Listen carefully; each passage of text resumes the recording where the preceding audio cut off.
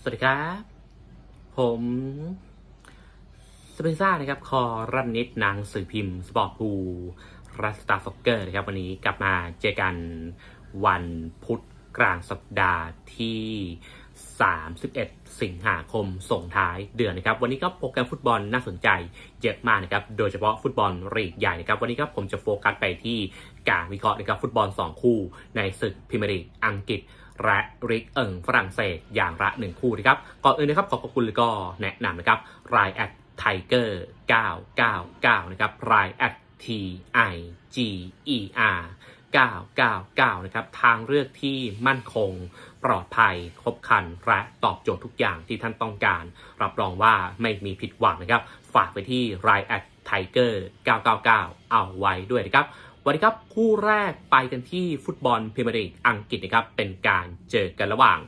บอร์นมัธเปิดบ้านพบกับ วูล์ฟแฮมป์ตันบอร์นมัธเพิ่งมีการเปลี่ยนแปลงกุนซือนะครับปลดทางสก็อตต์ พาร์กเกอร์ออกไปนะครับ ซึ่งตรงนี้ครับผมมองว่าทำให้โมเมนตัมทีมเนี่ยน่าจะมีแรงกระเพื่อมดีมากขึ้นนะครับ วันนี้ครับได้กลับมาเล่นในบ้านนะครับสภาพทีมแท็กติก 3-4-3 เนี่ยค่อนข้างพร้อมรบนะครับรับมือกับทางวูล์ฟแฮมป์ตันนะครับของกุนซือบรูโน่ ลาจนะครับ ซึ่งผลงาน season นี้เห็นชัดนะครับว่าพวกเขาตกลงไปหลังจากที่ช่วงซัมเมอร์เนี่ยมีการเปลี่ยนแปลงทีมเยอะมากแท็กติก 4-3-3นะครับ ตอนนี้แนวรุกอย่างราอูล ฮิมิเนซ กอนซาโล่ เกเดสดาเนียล โพเดนซ์ และเปโดร เนโต้เนี่ยยังเล่นกันไม่เข้าขานะครับ แล้วก็ยิ่งเป็นเกมนอกบ้านเนี่ยเรื่องของการยืนยะเกมรับเนี่ยยังค่อนข้างหลุดง่าย น่าเป็นห่วงนะครับกำแพงคู่นี้ครับเปิดมาให้วูล์ฟนะครับบุกมาเป็นต่อที่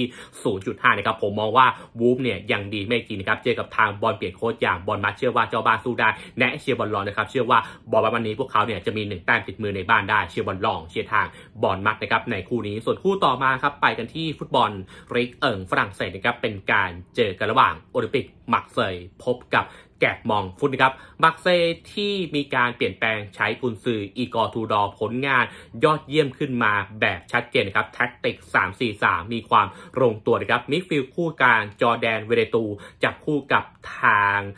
มาเตโอ เกนดูซี่เนี่ยคุมเกมได้เป็นอย่างดีนะครับ ส่วนสัมประสานกองหน้าอย่างอเล็กซิสซานเชส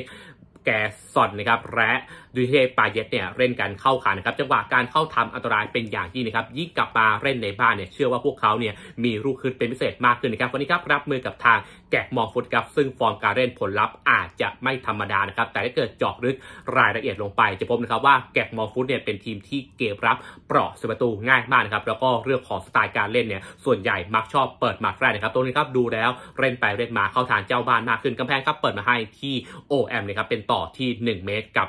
1.25 นะครับ ถือว่าค่อนข้างแพงนะครับ แต่เป็นของแพงที่น่าซื้อ น่าเชียร์นะครับ ผมแนะเชียร์ทางเจ้าบ้านนะครับ เชื่อว่าโอลิมปิกมาร์กเซยครับจะเบียดชนะตั้งไว้และมีโอกาสกินเต็มด้วยการยิงขาดได้เชียร์บอลต่อเชียร์ทางโอลิมปิกมาร์กเซยนะครับในคู่นี้วันนี้ครับสองคู่ในคลิปนี้ ฟุตบอลคืนวันพุธนะครับเชียร์เจ้าบ้าน เชียร์บอร์นมัธและเชียร์โอลิมปิกมาร์กเซยนะครับขอทุกท่านเชียร์บอลแบบมีความสุขนะครับเฮงๆรวยไว้เจอกันใหม่พรุ่งนี้ สวัสดีครับ